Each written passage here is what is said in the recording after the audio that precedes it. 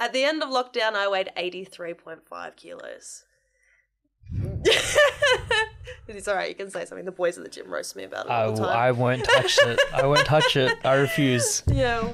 Um, so when I f- made my debut for my professional fight, I stood on the scales 20 kilos lighter than what I was a couple months ago. So That would have been a tough battle. yeah, getting it down was insane. What was the strategy? I just had like I just had to work. I just had to clean up my eating and everything. Um, I did sign on to a nutritionist as well, which made like massive. Mm-hmm. That's help. huge. But I That um, is huge. Yeah, definitely made a difference. But I definitely just struggled with binge eating. Like from fighting for so long, like you go through these strict diets and then I'd come out of it and I'd know a fight was booked soon and I'd just eat everything. I would eat until I threw up. Mm. Like I really had a problem with it because I was like I was traumatized. I was like, oh, I can't have this, so I have to eat everything. Yeah, get it all in now while I can. Yeah, and then we went into lockdown and I didn't have these fights where I'd peak and then come back down. Well, that happens to a lot of fighters. though. I mean, Tyson Fury has that problem. He just blows up. Yeah. And he's like seven foot. Yeah, I think lots and lots of fighters have binge eating problems because of it. Um, I feel like I'm definitely more on top of it now. I think having that nutritionist there is a huge upper hand. Yeah, and I've said I'm going to keep working with him even when I'm not in camp because I just need that help and that checking in.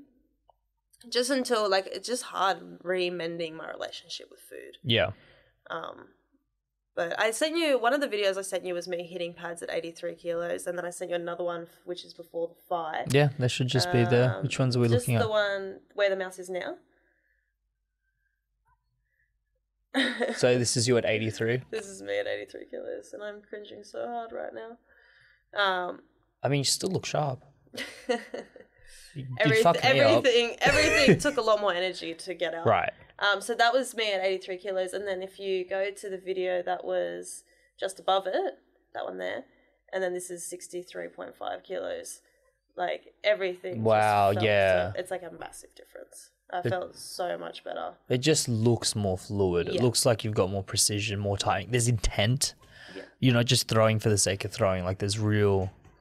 Yeah. And then even like so my last amateur fight was at 68 kilos and the way I felt hitting pads leading up to that, like I was still fit Mm. compared to the way I felt hitting pads for my last fight, it was insane. I just think particularly for Muay Thai to get as skinny as you can is definitely the way to do it because I feel like I just everything flowed, everything felt better. Like But don't you think as well, if you put on five, six kilos of muscle, um, you would have more oomph behind your kicks and more oomph behind your punches? Like, Look, I do strength training as well, and Mm-hmm. I definitely feel myself getting stronger, but I'm still I'm walking around like kind of the lightest I ever have. right. So I don't think I think when you get too bulky, I think MMA is different. When you get too bulky for Thai boxing, you kind of just become slow.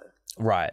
Yeah, Yeah, and I guess as well because they are used to performing at such high speeds. You know, Muay Thai is a very quick. You watch, Quick you look at any game. Muay Thai fighter, you look at fights in Thailand, they're all string beans. Yeah. They're all like string beans with a six pack. I still don't have my six pack, so I'm pretty ripped off. Even at my lightest ever, but that's okay. Um. So yeah, it's it's an interesting conversation around that. I, I'm really glad that you though that you went in and got the nutritionist, especially because I don't know if you're cutting a lot of weight to get into your fights. Like, how much are you cutting? You know what's funny? I feel like I get lots of girls reach out to me on social media and ask me for advice on doing big cuts. Mm. And I'm kind of like, what are you guys saying? I get it a concerning amount. I'm like, do I just look like someone who cuts a lot of weight?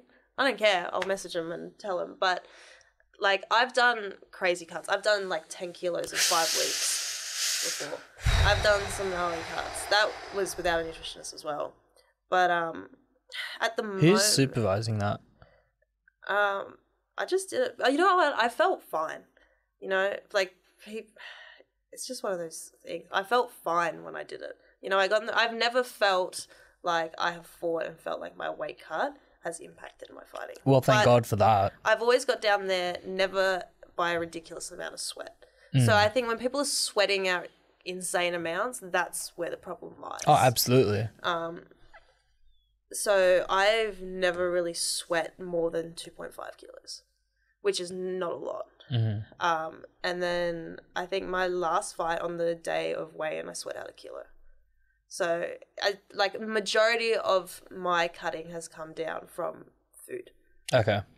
from my diet and my training. Um, Yeah. I think for this one, so I've got, uh, I got two weeks left, and I've got five kilos, which is easy. Yeah. It'll it'll come like that. Yeah. That's doable, especially if you're active and you're training a lot. You you wouldn't even have to worry about the sauna stuff. Yeah, and I'm still eating like Yeah. enough. I feel great. the the water cuts just freak me out. Like I've seen some. I was watching some footage yesterday, you know, and just the process that a lot of fighters go through in different disciplines as well. In wrestling, it's pretty tough, um, where you're seeing people literally knock on the brink of death just to get like the smallest competitive advantage in the ring. It's like if I can just cut a little bit more water weight, and when you start looking about the process that actually goes into it.